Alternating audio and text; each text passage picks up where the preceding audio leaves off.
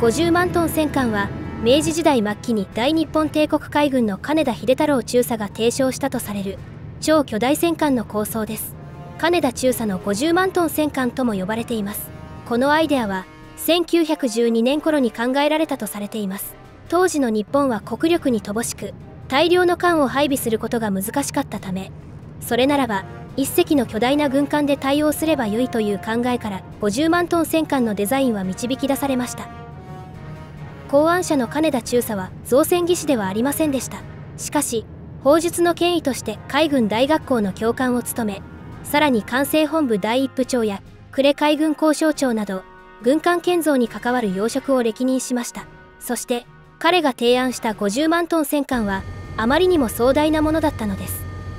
具体的なスペックには諸説ありますが代表的なものとして基準排水量50万トン全長609メートル全幅91メートル41センチ連装砲50機つまり100門を搭載。さらに副砲200門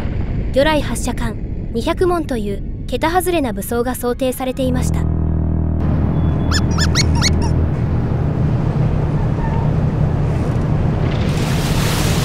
しておきますまた速力は42ノットと試算されておりこれは駆逐艦島風を超える速力でした金田中佐は88艦隊計画の一番艦長門の建造にも関与したことで知られています。それまでの三脚支柱の環境では41センチ砲の爆風に耐えられないと考え中央の1本柱の周囲に6本の支柱を取り付けた七脚章という新たな設計を提案。このアイデアは実際に長門型戦艦の環境に採用されました。また日本軍艦の設計者であり権威でもある平賀譲氏は金田中佐について金田という人はよく突飛なことを言い出す。空想的なものも多いが時には大いに参考になる意見もあった。彼とはいつも激しく議論を交わしたがまさに喧嘩友達だったと語っています。このことは金田中佐が軍艦建造に関する知識を持っていたことを示すエピソードとして知られています。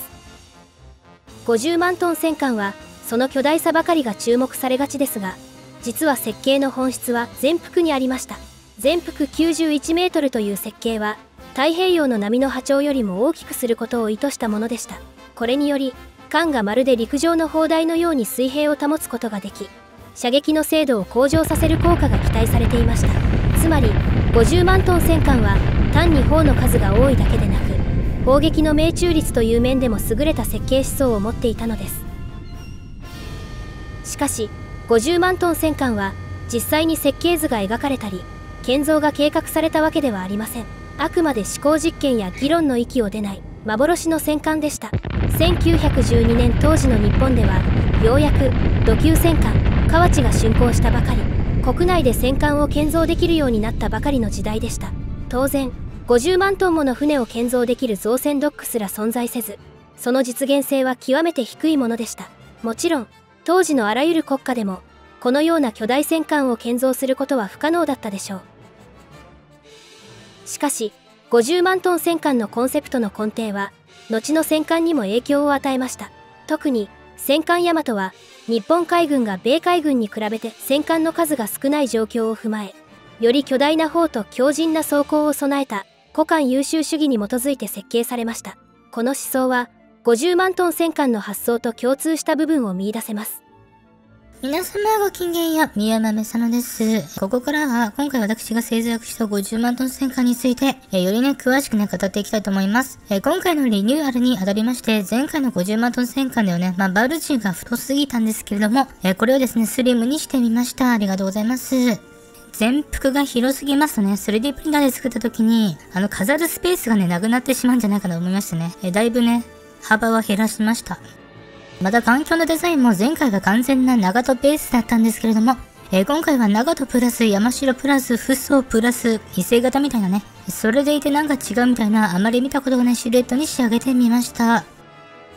えー、50機もの41産地をね、制御するための即興儀と包囲板もしっかりと大量に搭載しております。チャームポイントは監修方向に飛び出したヤードになりますね。まあ、1930年代の戦艦みたいなね、若干古臭さを感じるところが、まあ、チャームポイントかなというふうに思います。前回の50万トン戦艦に比べると全体的にね、こう整合性をね、意識した作りをしてみました。あとは91式降車装置と94式降車装置が併存している感じにしてみました。94式降車装置は戦時中に増設されたという設定で、なんかね、いまいち使いづらそうな位置に配置されてるね、感じにしてみました。増設された広角砲は甲板に埋め込まれておりまして、この辺りは伊勢型っぽい感じに仕上げてみました。あとまあ作っていて思ったんですけれども、副砲200門制御する必要があるので、即興儀と包囲板を大量に乗せた結果、機銃を増設するスペースがほとんどなくなってしまいました。環境周りにはあまりね、機銃操作はしないでください。煙突周りにつきましてはあまり変化はありません。個人的には並列配置された煙突は気に入っておりますので、まあそのままディテールを増やしただけになりますね。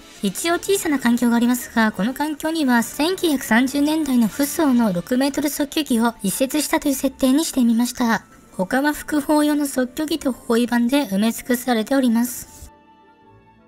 缶の真ん中の後ろには主に内科艇を配置するスペースがありますが、戦時中に対空スペースとして活用されたという設定にして大量の機銃を配置してみました。本来ならば超十三地砲を配備するべきでしたが、間に合わずにやむを得ず解剖艦用の12.73値単装広角砲を搭載して、とりあえずなんとか形にしたという末期戦艦を出してみました。後部環境は基本的には全部環境と同じような感じですが、艦の監視方向も完備方向も観測できるように、前にも後ろにも窓があるような、そういうデザインにしてみました。えー、完備というか船底につきましてはこんな感じになっております。視聴者の方からね、気持ち悪いという意見をいただきましたけれども、どうでしょうかね。あと50万トン戦艦の艦名は50万とね、しておきましたけれども、まあ、50万点戦艦にふさわしい艦名がね、なかなか思いつかないんですよね。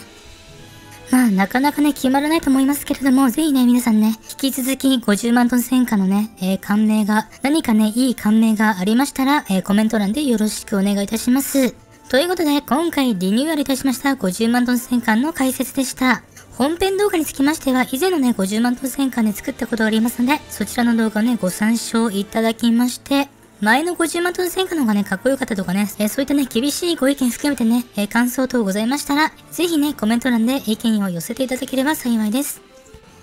はい、もう最近はですね、先月はね、もう、もうロシアと思われる国からね、まあ、2週間に2回もアカウントハックのあの被害に遭ってしまいましてね、でさらに先日はですね、なんとね、あのドイツ軍の戦闘機が飛行しているだけの動画がね、ヘイト認定されまして、削除されまして、もう結構私ね、ブチ切れてるんですけれども、もう大変ね、非常にこう、モチベーションをね、くじくようなことが多くてですね、